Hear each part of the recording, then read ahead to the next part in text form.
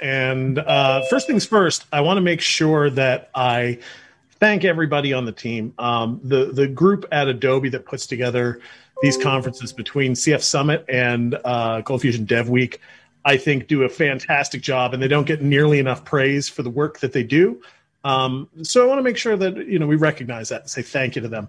Plus, all of the other speakers who have put together these fantastic sessions that uh, we've seen so far you know, Charlie Arehart, Ben Nadel, uh, Brian Klaas, Mark Takata, uh, you know, Ray Camden, all of these people are like cold fusion royalty in the community. Um, I don't know who uh, got drunk at a party one night and said, let's invite Byers to give a presentation, but I'm glad that they did, and I'm happy to be here. So um, thank you, everyone, for joining for CF Dev Week, and I hope you're having uh, a great time and learning a lot about uh, some modern aspects of cold fusion. So, uh, what is this session? This session I am calling Cold Fusion Modernization Challenges. It's improving legacy code while retaining your sanity because I believe that every Cold Fusion developer is both a builder and an artist. You know, we want to create these beautiful and elegant solutions with CFML that are powerful and dynamic. Um, sometimes, though, we have to deal with the legacy code that was built over a decade ago by a developer who has long since left the company um, and didn't know what they were doing to begin with. Or maybe the company direction has shifted again. Uh, and what was a priority in the past is no longer relevant. Maybe the approach you originally took to a problem can be done cleaner and more efficiently in a newer version of Cold Fusion. Maybe there's new functionality in Cold Fusion that renders old approaches obsolete. At some point, the modernization of your legacy application becomes necessary. If anything, should just retain your own sanity. Uh, which is why the subtitle and the real title of this presentation is group therapy. Um, why do I call this group therapy? It's really simple. We've all been there. Um, I don't think that there's probably a person in this session that hasn't had to maintain or develop applications where we hated every single second of it. Um, you know, there's a lot of people that look at their application, their legacy application, they make this face. I know I make this face on a regular basis when looking at um, legacy applications. Sometimes it's my own code that I'm making this face for. Um, I'm not exempt from these sorts of things. Uh, so, in preparing for this presentation, I wanted to address this issue that we all deal with on a regular basis from three standpoints. First, what are the most common frustrations when dealing with a legacy application? Uh, second, how are these conditions caused? And third, what can we do to mitigate these causes to prevent them from happening in the future? And just for sake of fun, I'm going to sprinkle memes throughout the entire presentation because if we can't laugh while we're dealing with these frustrating problems, we might just kill ourselves. Um, and I promise to try not to give my presentation like this, but I'm I'm totally going to fail. I'm just going to read slides, basically. Anyway, uh, the obligatory biography slide. Who am I? My name is uh, David Byers. I'm an Adobe Cold Fusion specialist. Um, I've been a web developer for over 25 years. Um, I'm active on the Cold Fusion community portal at coldfusion.adobe.com. Uh, I'm a raconteur. All that means is I tell stories, um, as you will quickly find out. I live in Las Vegas with my wife, who believes we are running an animal sanctuary because we are now up to three cats, four house bunnies, and two bearded dragons. And believe me, those animals are the ones that rule this house. However, back to our little frustration problem. I think it's important that um, everything starts off on the same page. So, the first thing I want to do is ask the question How do you define legacy code? I belong to a few different developer communities, and uh, one of them I posed this question to. I said, How do you define legacy code? Uh, and the answers that I got were, of course, all very interesting. and They varied. Some people said code without tests. Well, yes, code without tests could be considered legacy code, but code with tests can still be considered legacy code. Um, old code. Old is relative. You know, uh, one of the developers said, You wouldn't believe it. We have code running in our application that was written back in 2017. And I laughed and said, Oh, child, you have no idea. Um, undocumented code Sure, undocumented code could be considered rel- uh, relatively legacy code, um, code that isn't currently being developed against. okay, this is an application that was built and now it's just running and it, it hasn't broken, so we haven't bothered to fix it. Therefore, it's just kind of gotten old, long in the tooth and a little old. And okay, yeah, that could be defined as legacy code. Um, I think this is kind of a prerequisite. It's code that has been in production and has been field tested. Obviously, if you've written code that's never seen the light of day of production, it's not really legacy code. You never relied on it. So I think that that's a prerequisite. Um, code that's been abandoned or replaced with different code. Of course, yeah, that could be, you could have a lot of cruft just sitting around in your application, um, not really doing anything. And then finally, code that isn't tracked by a code management system like Git or Subversion. Um, but for the sake of this particular presentation, the way that I'm going to define legacy code is code that we didn't create or don't completely understand or don't agree with how it was built. Therefore, we aren't comfortable modifying it. Okay. And I come across this all the time. You know, there are a lot of times where I'm working with a legacy application and I'll be looking at the code base, and on a regular basis, I look at it and say, I could eat a box of alphabets and poop better code than this. And each one of you owes me a nickel for every time that you use that. Um, first, the bad news. The bad news is that what's done is done.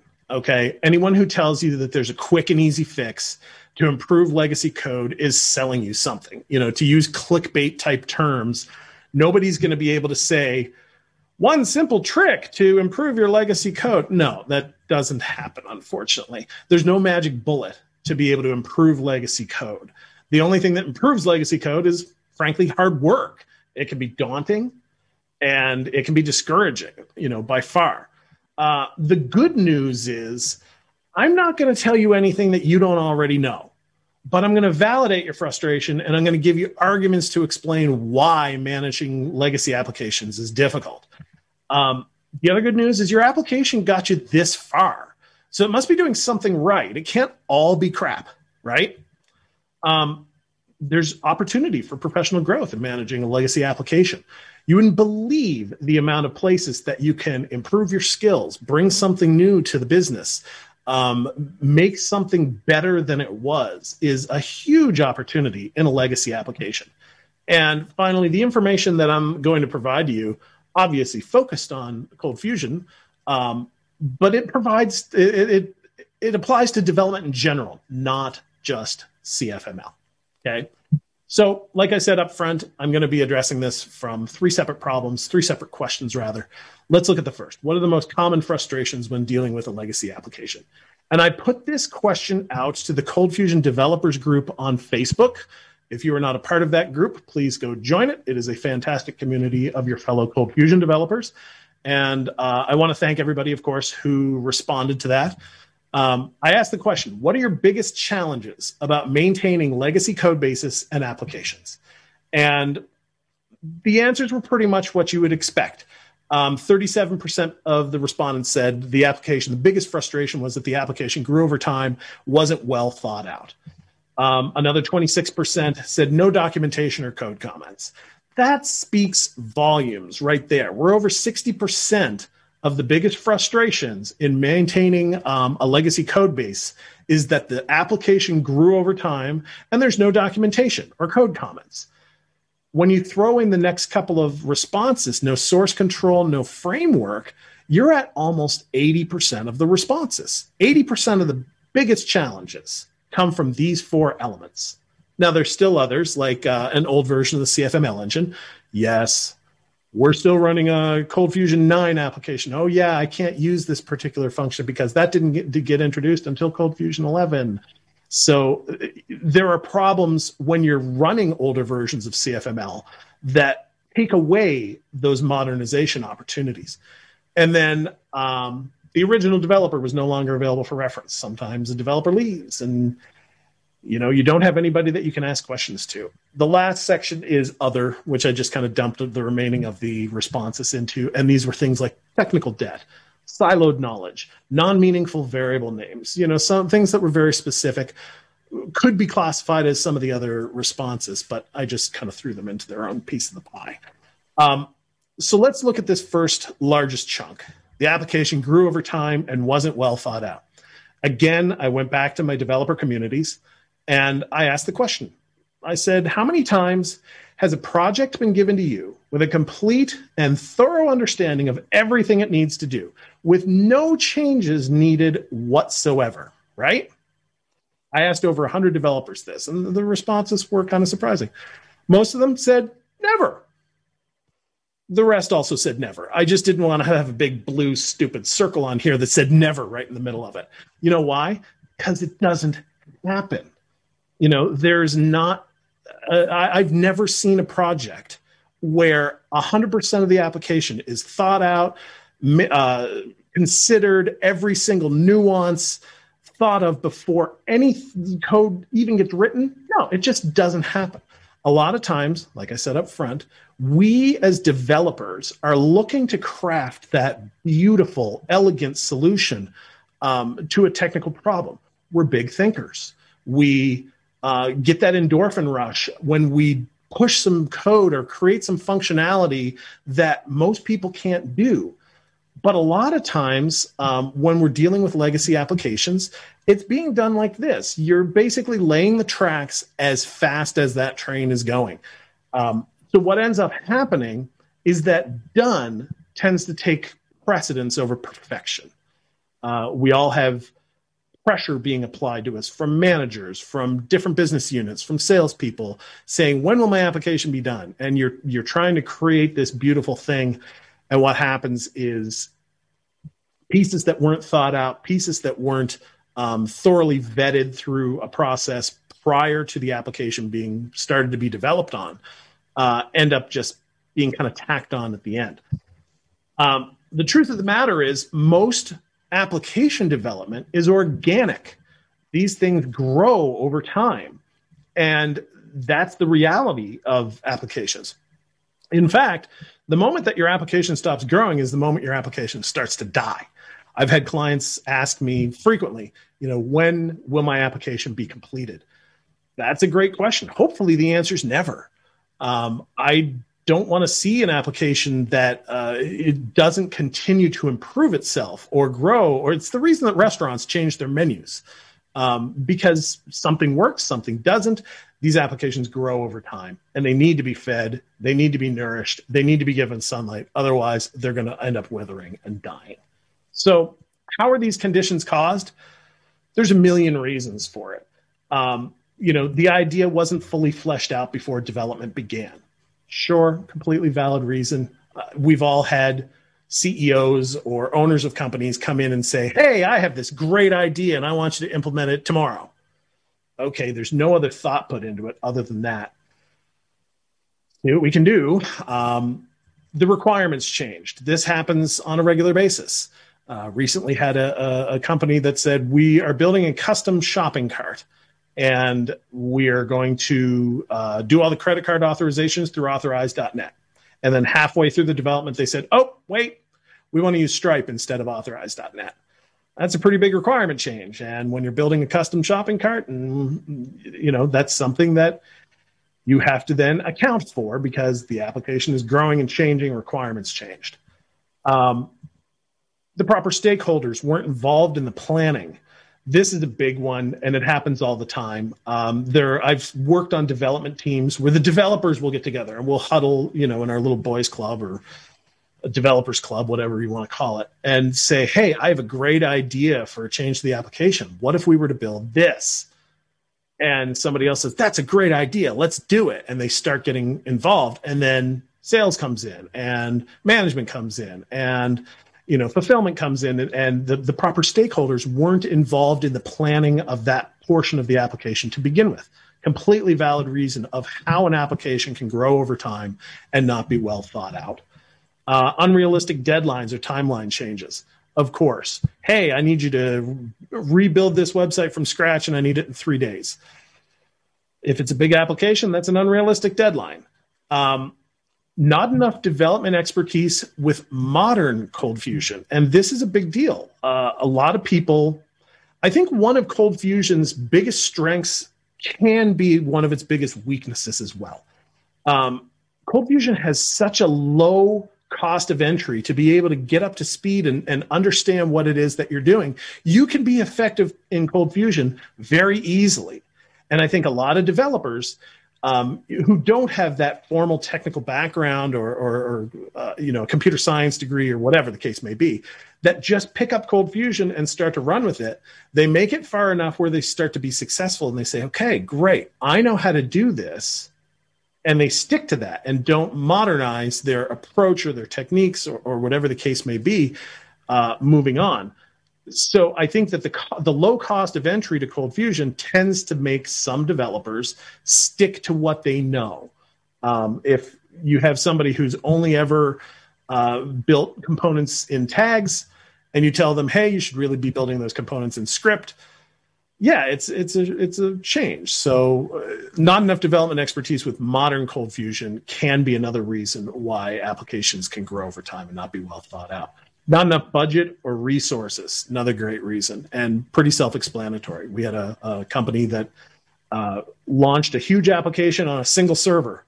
Um, and this isn't just limited to hardware but they they had their database they had their application they had everything running on one server. And once they put it out live it crashed and burned to the ground and we ended up separating a lot of things but which also involved buying new servers at the last minute and it, it, you know those sort of nightmares that you want to be careful of. Uh, don't have the right tools, software, environment, or infrastructure to be able to do the work properly. Uh, unexpected results from what was developed. And this is a big deal.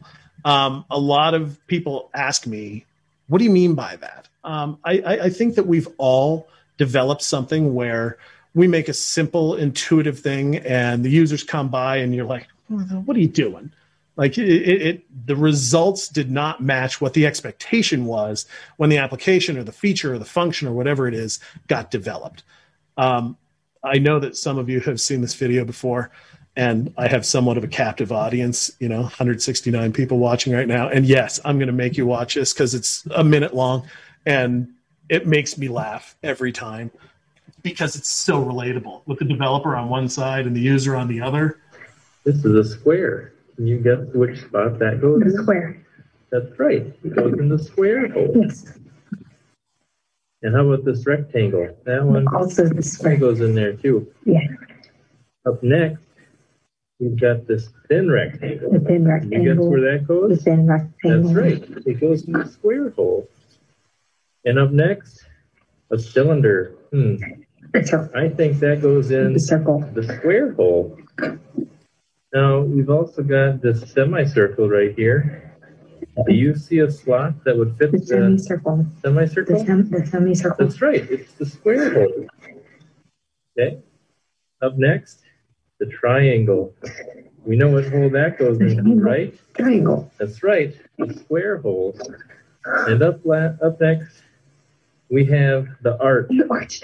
Arch. You guessed it. Arch. It goes in the square oh. hole.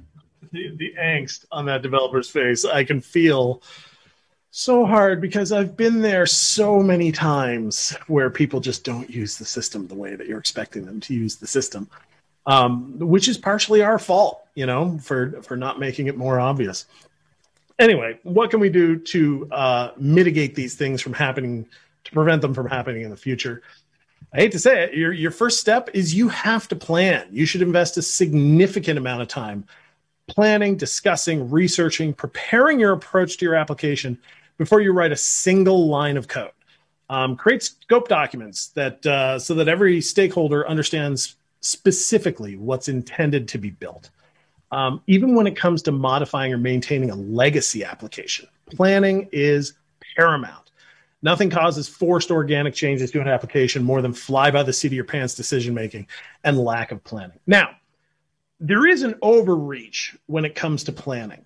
Um, a lot of people end up spending a significant amount of time in the planning and design phase of their project, and then they don't leave enough time to develop, test, or release their project. So be careful that you don't fall into this horse situation where you've invested all your time and energy into the planning and design phase, and then by the time the code starts to be released to production, that's when it just starts looking like garbage. Um, the next solution to be able to help uh, with applications that tend to grow out of control is modernize. And I know some of the Ortus guys in the audience will say or die, which they should. Um, one of the easiest and best ways to open up modernization opportunities is to run the latest version of Cold Fusion. Some versions of Cold Fusion are nearing end of life, which means that they will have no new updates, security patches, or bug fixes, bug fixes, etc. I told you I was going to read the slides, and then here I am reading the slides. Uh, newer versions of Cold Fusion also run faster. They enjoy new features and they give you more opportunities to modernize a legacy application. As a matter of fact, let's look back at, at you know the last four releases of Cold Fusion. If your uh, application is running on Cold Fusion 11, guess what? You're using an unsupported version of Cold Fusion. If you're running CF 2016, your core support has ended. Your extended support ends in about eight months. Uh, the only fully supported versions of Cold Fusion at the moment are CF 2018 and CF 2021. Uh, Michaela Light, who is a fantastic champion for the Cold Fusion community uh, at TeraTech, does the CF State of the Union survey every year. Uh, the results of the 2021 survey are currently available, and focusing on Cold Fusion, you can see that the people who are responding and saying, This is what version of Cold Fusion that we are currently running, there's still representation of Cold Fusion 8, Cold Fusion 9, Cold Fusion 10, Cold Fusion 11 those are all completely unsupported versions of Cold Fusion that aren't getting security fixes. They aren't getting bug fixes. Um, you know, Cold Fusion 2016 and Cold Fusion 2018, of course, take up the bulk of of the uh, customer base or the respondents rather. And Cold Fusion 2021 is is climbing steadily. Actually, it's only been out for six months, so that's it's a reasonable representation so far. But what really surprises me about this is that if you look at that data, 26% of the people who are responding, and these are active people who are responding to a State of the Union survey, are using an unsupported version of Cold Fusion. Another 27% only have extended support. Their core support has ended, which means there's less than half of the people who are responding to this saying that they're using a fully supported version of Cold Fusion. If that data doesn't change in the next eight months, um, it's going to look like this which is going to make me look like this. Okay. The other thing is, is that, like I said, modernization opportunities with new versions of Cold Fusion, and I won't go back to the unsupported versions, but uh, the, the things that you can do in a modern version of Cold Fusion, you know, let's look at uh, Adobe Cold Fusion 2018. Although I will highlight in, in CF 2016 the API manager simply because that could be its own standalone uh, alone product it's so powerful and brings such functionality um, to an application. Uh, but with Cold Fusion 2018, they brought asynchronous programming, uh, lots of array enhancements, component enhancements for abstract final default functions and covariance. Uh, the performance monitoring tool set was included with CF 2018. Again, another product that could be its own product all of its own, included with the latest versions of Cold Fusion the lockdown installer, fat arrow functions, new query and array functions. There's so much more cool stuff in the newer versions of Cold Fusion.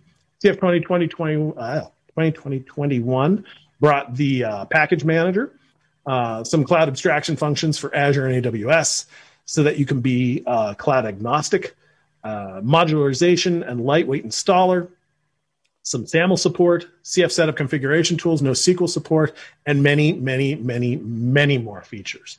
Um, so, yes, modernize. Some legacy applications were written years or even decades ago. You know, modern uh, Cold Fusion is a robust, dynamic, capable language. It gives you many opportunities to try new approaches, new techniques, and new methodologies to make your legacy application more cutting edge. Um, Luis Majano of uh, Ortus Solutions wrote a book called Modern Cold Fusion CFML in 100 Minutes. I strongly recommend it. Go out and buy it, um, and it supports a good cause. If you don't want to buy it, uh, they also have it as uh, a, a, website at modern-cfml.ortusbooks.com. Um, great read, and will give you uh, great information on how to modernize your code, how to use new approaches, how to uh, look at things a little bit differently. Um, so yeah, strongly recommend that. Basically, I guess what I'm saying is if you start looking back into your code base and your code base starts looking like this, yeah, it's time to modernize. Um, I'll give you an example. This is a component that I would have written, let's say 10 years ago. Um, you can see it's all tag based. I have two functions in here, one called get users, one called uh, query to array of structures. And basically what I'm doing is I can pass an ID and get a, a, record from the database for a single user, or not pass an ID and get all the users, and it returns it as an array of structures versus uh, as a query element. That's all fine and good. You know, this is legacy code that you would see in an older application, um, something I probably would have written 10 years ago. Well, as time went on, we started to refine that approach. Uh, I came up with this, which is a little bit more modern version of it. Uh, it's now it's script based. Um, this is actually Cold Fusion 2018 as of update five because you can see on line 17, I'm using a fat arrow operator to be able to effectively eliminate that second uh, function. I no longer need that query to array of functions. Uh, sorry, query to array of structures function uh, because I can use that fat arrow operator to be able to reduce that for me. Um, and when I wrote this, I was proud of it. In fact, I was so proud of it, I wrote an article about it for the ColdFusion uh, uh, community portal. Well, along comes ColdFusion 2021, and now on line nine, I can, in my options, I can do a return type of array. So now my use of the fat arrow operator in this particular instance is also rendered obsolete. This is a more modern version where I same thing. I can get a query of users, possibly pass an ID and, and get a specific user um, on a single function. Let's reduce that down a little even further. Because I said to myself, wait a minute, why am I, I creating local variables for the SQL, for the parameters, for the options? Why don't I just pass that right into the query execute? And in that case, why don't I just return the query execute and put the SQL right in there? You can see I'm using a ternary operator on line eight with a question mark to determine whether or not to add the where clause on the function. Um, I'm returning it as an array. So compare these two. These two components are doing exactly the same thing, except that this one is using a more modern version of Cold Fusion written in a more modern way um, than this one. Exactly the same functionality. Now, some of you may take a look at what I just showed you, and your takeaway may be that less code is more modern code. That's not the case. Less code does not equal more modern code. Um, very important, though, is that some people might say that less code is more efficient code. And that's probably the stupidest thing I've ever heard. Um, and it will play a big part. Pay attention to this because it's going to come back in a minute when I'm telling a story. Um, does not mean more efficient code. Less code does not mean more efficient. The other thing that you can do is refactor. Uh, determine what areas of your application are ripe for refactoring. Compartmentalize functionality where you can.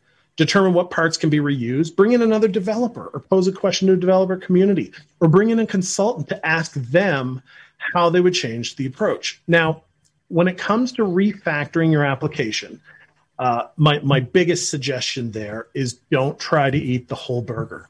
Um, refactoring an application can spiral out of control quite a lot uh, what happens is you say to yourself, I, self, I'm going to refactor this one little part. Oh, well, that part connects to this part, so we should refactor that. Well, you know, that really connects to the view in a different way. Let's refactor the view. And they tend to spiral out of control. So don't try to eat the whole burger. Just remember your goal when you're refactoring is to leave things better than you found them. So um, those are my strong recommendations on how to help prevent applications from going out of control and um, losing you know their scope. Plan modernize and refactor. Um, addressing the second uh, third and fourth elements from that survey no documentation or code comments no framework no source control. I'm going to lump together these things because they all cater to the same issue.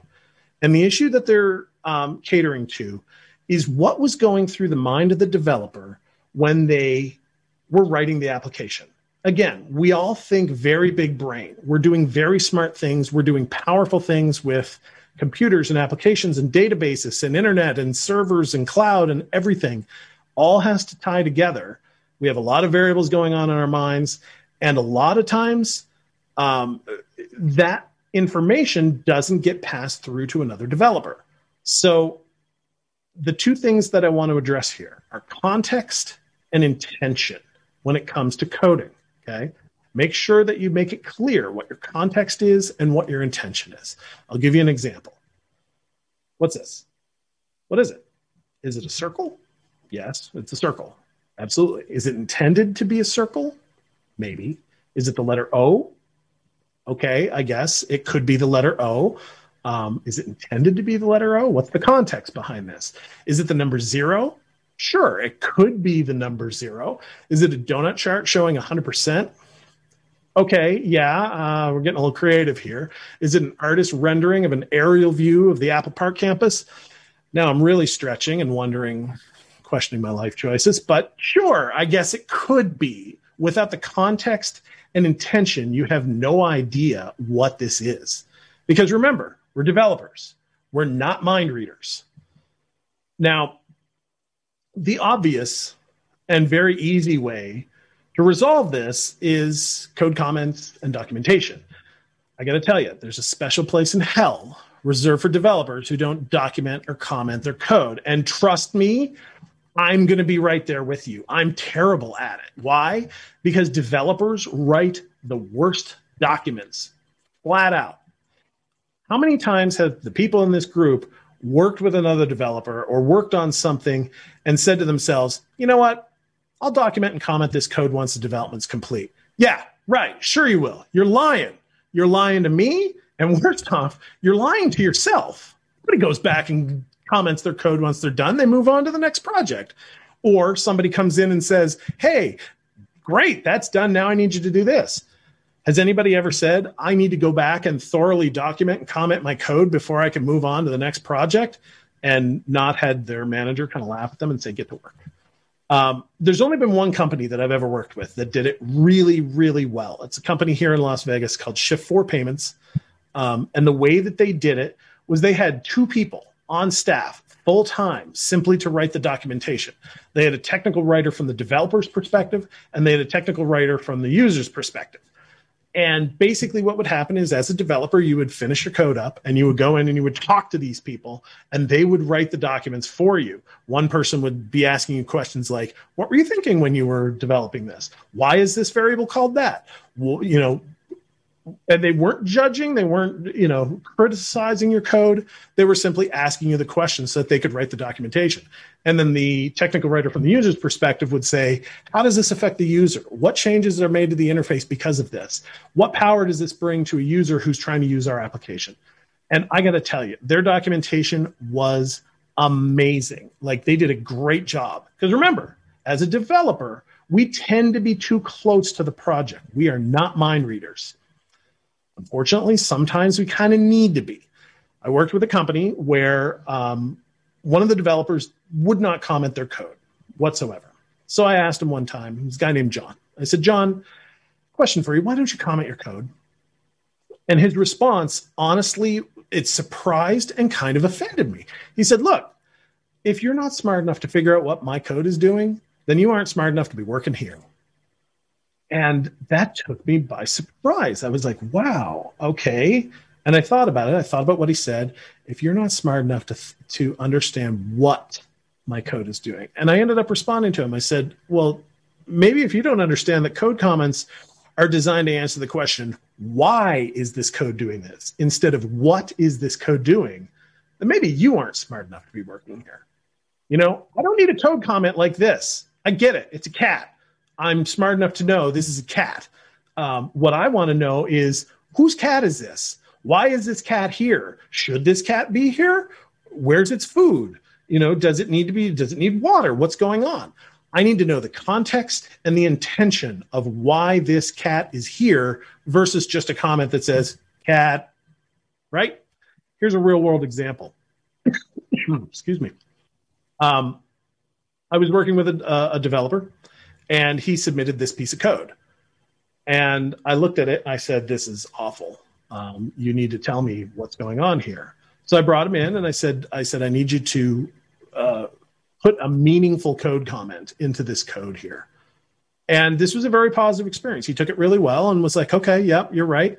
So he came back and this is what he said. This code creates a hash based on an integer between one and a million. Okay. We use this in the user login system. When a user logs in, there's a similar function that gets run, and we compare the hash of the number generated at login with the hash of the number in their user record. Okay, like I, I, I see what you're doing there. If it matches, they've won the quote unquote lottery and they get a special discount.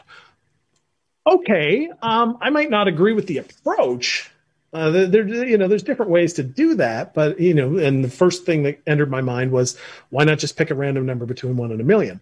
And he addressed that in his comment. He said, we originally did this as random range between one and a million, but we determined that there was more randomness applied to creating two random numbers and multiplying them. Well, that's just wrong, but I, I'm not here to judge the approach. I'm here to understand the context and the intention of why this code is written. Why is there A? Why is there B? Why are they random numbers between one and a thousand?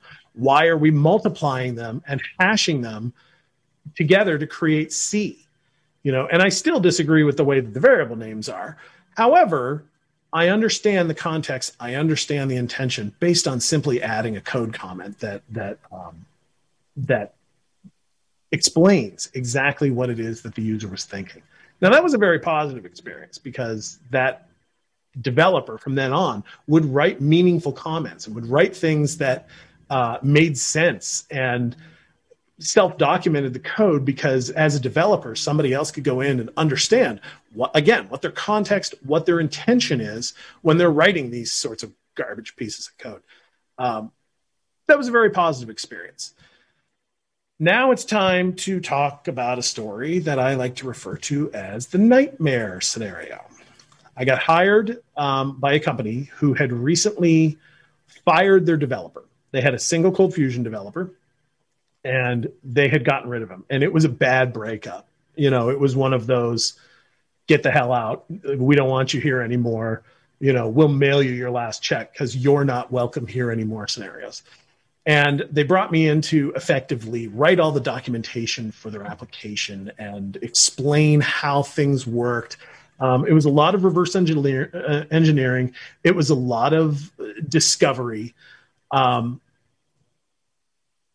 these are the sorts of things that uh, you know you, you, get into sometimes. And as I'm going through the code, I come across this, and I'm like, okay, let's take a look at this. CF loop query equals get ID. Got it.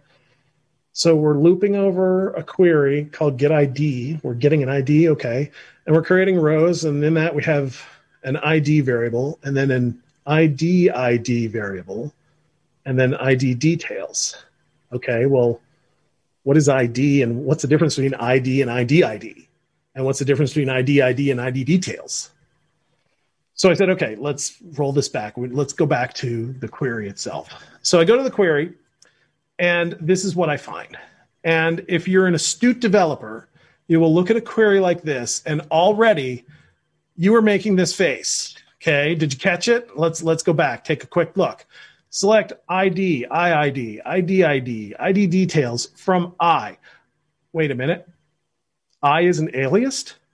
Why is an I alias? Normally, I is an alias for something. Certainly, I'm not going to look in the database and see a table called I, am I? Inner join ID. Wait a minute. ID is an alias. Oh my God, what's going on? Let me look into the database. So I look into the database, and this is what I see. Table names A, A, D, C, C, O, E, I, I, D, J, L, P, P, N, R, S, U, and Z. So I closed my laptop. I went out into the parking lot. I did this in my car for about a good 10 minutes. And then I went back in and I talked to the company that had hired me. I said, okay, this developer had to have um, a uh, somebody that he worked with, somebody that he talked to. He had to have lunch with somebody, and they said, "Yeah, he used to hang out with Paul a lot." Okay, I said, "I want to talk to Paul." So I talked to Paul, and I said, "Paul, what's what's going on? What what can you tell me about this other developer? What was his intention when he was building tables?" And he said, "Well, the first thing that I have to tell you is that." Even though I hung out with him a lot, I didn't really care for him, and I liked this job more than I liked him okay, that's good to know. That tells me you're going to be telling the truth here. You're not going to be trying to protect him. And he said, the first thing you need to know is that uh, he believed that the smaller the code was, the fewer characters that he used, the faster it would run. Oh, and I said, okay. Remember, I remember I said this was going to be making a comeback. Yeah, here it is. Um, he said he believed that less code meant for more efficient code, and I said, okay, that's the stupidest thing I've ever heard. Um, what else? He said, well, he also believed that if he made the code really obscure, he would never get fired. And I said, aha, now I have the intention. That's the intention behind this. This is intentionally uh, obfuscated in order to be able to make it so that it's difficult to read. So I go back into the database and I shake my head and I start looking into the context of a lot of these tables. And this is effectively what I figured out you know, A was accounts, uh, AD was addresses, C was contacts, CO was countries. Okay, I'm starting to get a, a, feel for what this guy is doing here. The two tables that we had in question, I and ID, were actually invoices and invoice details. So when he's running a query called get ID, he's actually saying get invoice details. And I'm saying to myself, self, what are invoice details? And I'm looking at the data, and the invoice details are actually line items. And I'm thinking, wait a minute, why didn't he call it line items? Oh, I remember because he's trying to obfuscate the code as much as he can so he doesn't get fired. So he's going to call line items ID, which is actually invoice details, which ties to the invoices table. Just complete nightmare. Okay. So looking back at his query, though, this made a lot more sense. We're selecting invoices ID, invoices, invoice ID, invoice details, invoice details ID and so on and so forth. And I thought to myself, wow, how hard did he make this not only on himself, but anybody else that would ever look at the code? Um, in, instead of just doing something like this, and this is awful and basic and shouldn't be done either, but using meaningful variable names, call the query get invoice details instead of something that's completely obscure. Um, spell out the table names so you know where you're getting these this data from just a complete nightmare. Well, what can we do to prevent these cases, these causes from happening uh, in the future? Well, number one, don't hire that guy. I can tell you that. Um, but ultimately, you have to document. You know, knowing that applications are organic in nature, you know that this is not going to be the last time that you or someone else has to manage the code. So you want to write code comments and documentation to support what you did and take some of the guesswork out of those future development efforts. Um, avoid obfuscation. This is a big thing.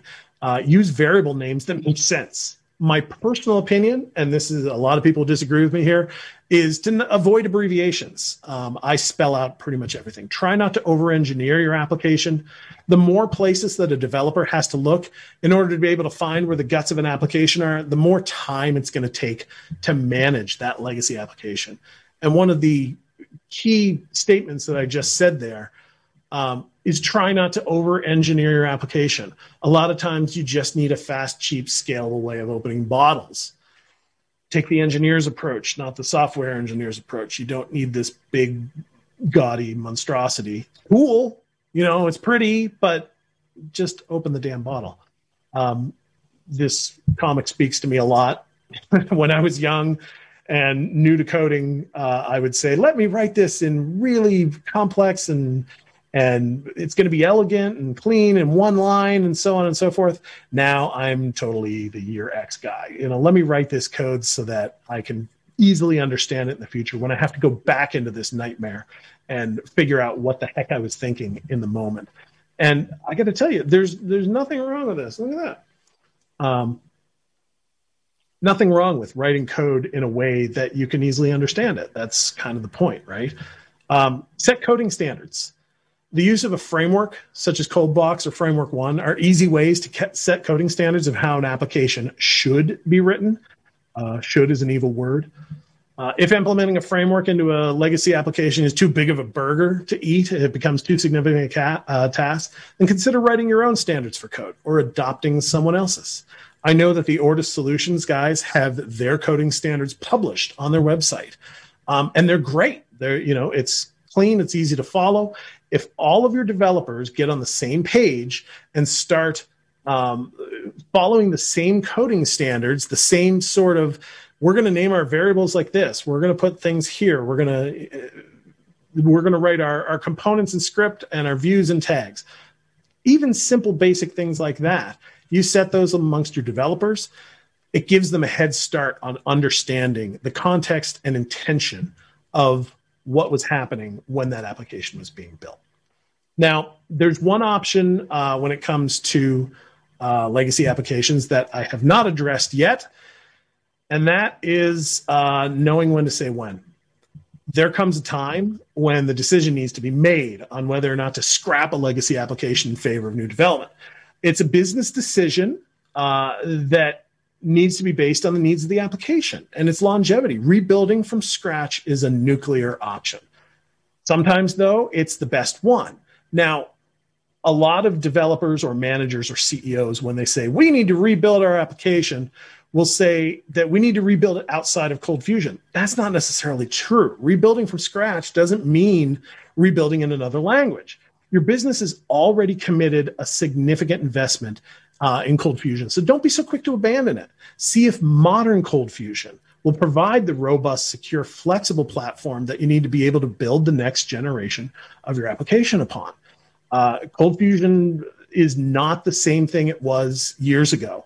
Uh, 10, 5, even three years ago. Charlie did a great uh, presentation a couple days ago on modern cold fusion and the fact that it's not this uh, thing that people had stuck in their minds when they first learned about it. Some people think that cold fusion is still CF pod and flash forms. And it's just that's no, modern cold fusion is entirely different. Um, a good question though is how do you know when to say when and nuke your application and, and start from scratch? Uh, a few ideas to keep in mind understand the architectural limitations of your existing application. Uh, many times people will say, we can't do that because of the way our application was built. If you're hitting an architectural limitation to your existing application, maybe it's time to consider nuking it and starting over. Evaluate how much time you're putting into discovery. Uh, there are too many projects that I work on currently that involve four hours of discovery for a 10 minute fix and it sucks. You know the, there's nothing worse than having to do for, a bunch of discovery to try and track down where the problem is. And then once you find it you're like okay here's what we need to do. And you start doing it. All that discovery time is time that you could be putting into a better application. Uh, document where the known bugs and security issues are. Uh, if that document starts getting really big maybe it's time to say when. And then consider all of the things that you would do differently if you could do it all over again. If if you were to say today, hey, this massive application that we've built over the last 15 years and has a million lines of code and uh, an established customer base, so on and so forth. If you were to build it all over again, what would you do different? A lot of times that uh, that answer could be pretty daunting. Um, so what did we learn? Uh, number one, plan create a scope document. Try to think of uh, try to think through as much of the application as you possibly can. Modernize your application. Uh, Cold Fusion in 2021 is not the same as it was 10, 5, or even three years ago. Uh, upgrade versions as well as the way that you write your CFML.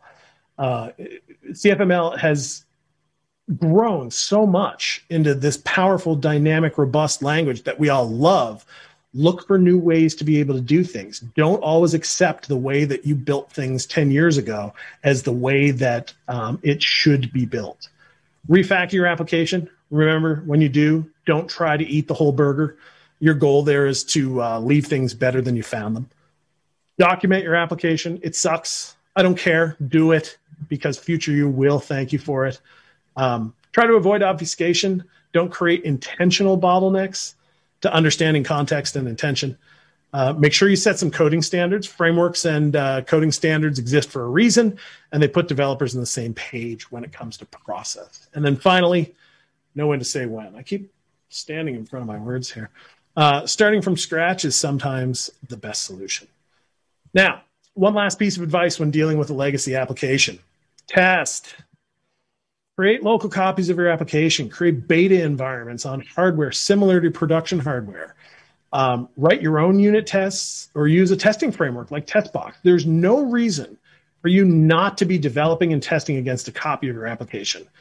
Um, developer text, test against, uh, a, don't ever developer test against a live production environment. You know, how many of us got this email last week? Thanks. Thanks, HBO Max. I don't I don't know what's funnier. In case anybody doesn't know about this, basically HBO Max was testing in production and they sent out an integration test to you know a significant portion of their customers. And I don't know what was funnier, the fact that they were testing in production or the fact that they totally blamed it on the intern and rolled him under the bus for it. It was hilarious. And it's been all over Twitter for the longest time because they're like, this is this is just great. For me, it just, I don't know, made me do this. So anyway, now that we have all that information, we can all have a nice group cry. And we can just remember that um, these things that I'm telling you to do, these efforts will make help. These efforts will help to make your development world a better place. And I strongly recommend that you implement as many of them as you can. Time for Q and A.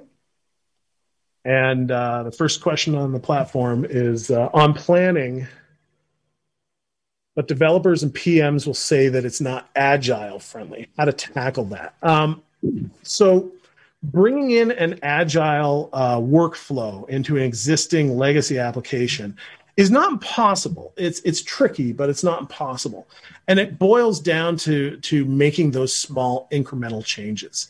You know, uh, my response to that would be um, if the project manager says, "Well, this isn't agile friendly," okay what can we do to make it agile friendly what would uh, and and start working with them to be able to implement those ideas that give them the uh, type of workflow the type of of uh, integration that uh, they're looking for when it comes to um, expanding can I repeat the name of the unit testing tool? The, uh, the unit testing tool that uh, ships with the Coldbox framework is called Testbox. Um, and it's brilliant. And it can be used to test not just cold box application but any application. You can use it to write unit tests for pretty much anything. Uh, any tips for an incremental migration to a modern framework? Yes um, compartmentalize. Uh, typically what i have seen done lately when it comes to saying, hey, we have our legacy application and it sits right here. We want to move it into this framework is uh, compartmentalizing all of the, the functions and features, everything that that's doing and moving one over at a time. And uh, Ben Nadel yesterday gave uh, a great presentation on feature flags. Uh, that's which would be a great way to be able to turn on off toggle different ways for uh, you to be able to see that framework in action and then roll it back to something if, if it doesn't work you know that's so compartmentalize break it down into smaller chunks um, see if you can build one small portion of your application in a framework and then s- slowly start migrating everything over. Um,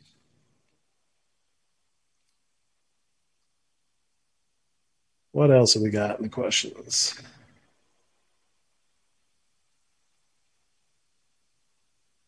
Why do I think many legacy applications migrated to other technologies? That's a great question. Um, I think that I think that Cold Fusion is by far my favorite development language. It's the most powerful. It's the most robust. Um, it's the most amazing, in my opinion. I think that that is a minority opinion. I think that many people i think that cold fusion is a fantastic product with a horrible reputation. And i think that many people think of cold fusion as you know the cf pod and flash forms version that they knew 15 years ago and don't understand what modern cold fusion can do. The other argument to that is that um, uh, cold fusion developers are hard to find. Uh, there are many times when uh, which tends to be an hr problem but uh, the company here in Las Vegas just recently that I talked to said, "Yeah, we put out an ad for a Cold Fusion developer. We got three responses because we want them to be local. We want them to come into the office. Um, so we um, got three responses, but we put out an ad for a Python developer and we got 75 responses. Hard to argue with that when the, the developer base is small but passionate.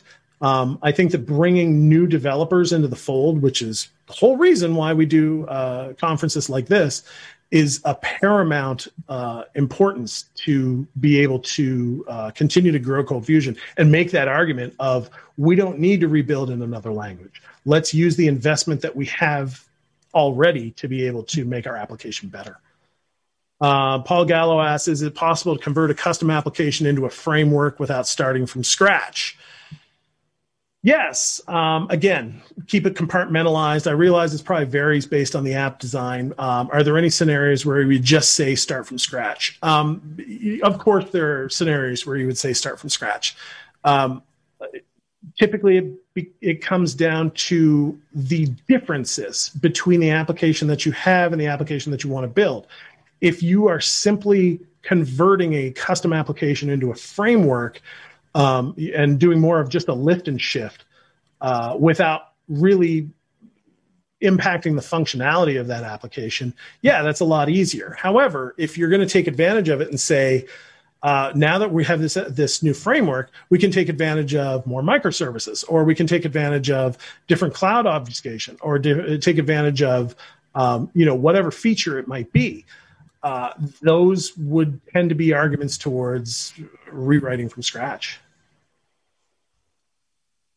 Any other questions? And say enjoy your time at CF Dev Week and um, thank you for attending. I really appreciate it.